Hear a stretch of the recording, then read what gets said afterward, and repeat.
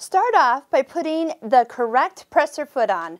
The R foot has a little bit of a front part that's going to sit right in front of the white ankle and then the, the bar, the silver bar, is what goes into the little mouth of that ankle and just click it right up. There is a time where I might suggest the Viking, Hus uh, Husqvarna Viking uh, sensor Q foot for some more um, extra special things. So if for any reason you have some trouble, there is another foot that um, really makes everything all work together. We're going to start off by making a, doing a bobbin.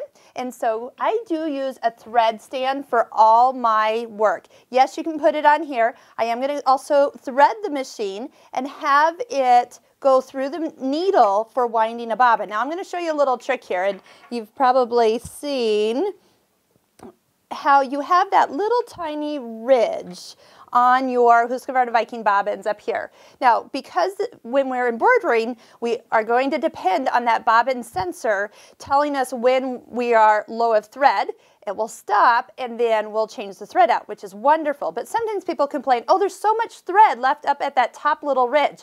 So here's my little trick. So we're gonna take this and yes, I know they say use a metal foot when you are winding a bobbin. The one thing I am gonna say is just make sure your presser foot is up and not down because you definitely don't want tension on that. Thread the bobbin through the little hole from the inside to out. We're putting the bobbin right here on the bobbin winder and engage it.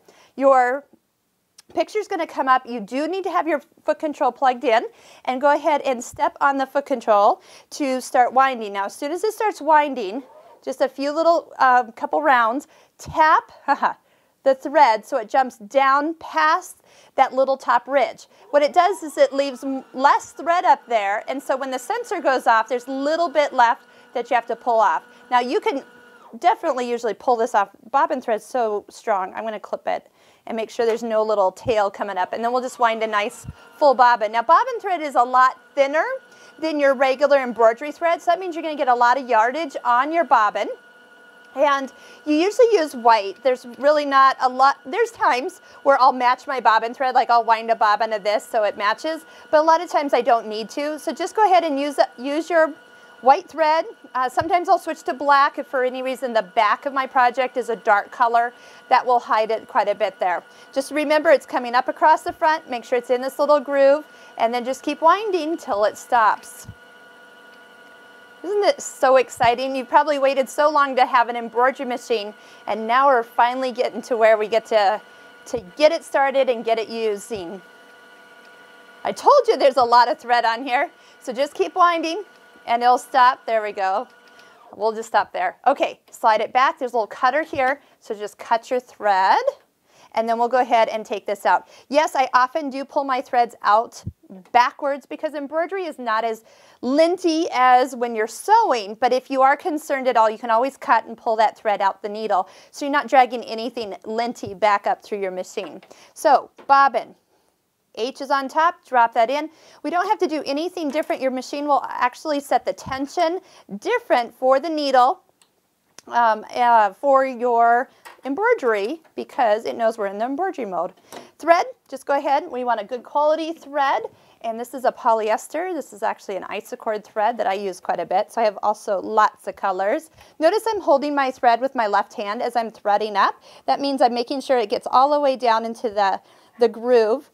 Needle threader becomes your friend because you're going to change those colors quite a bit. Now your thread can just sit over the edge of the foot. You don't have to thread that down and underneath it all. Now we're ready for our hoop. So our hoop's going to come in. If you have really thick fabric, you can always lift the presser foot up a little higher and it'll slide in. We're looking for the little, um, the bracket that you had on the left side when you hooped it. And look right here where the little mouth is. You're going to go ahead and push it firmly in. Now I want you to use strength. I want you to be firm with your machine because you're going to hear a click. If for any reason you don't hear a click, then probably take it off and reset it again. When you go to take it off, you push down on the gray lever and pull towards you. And again, pull. Don't be wimpy about it. Get good and firm with your machine. Nice click in. So everything is ready here. So next, we're going to go into the screen, how we pick designs, and how we get started with embroidery.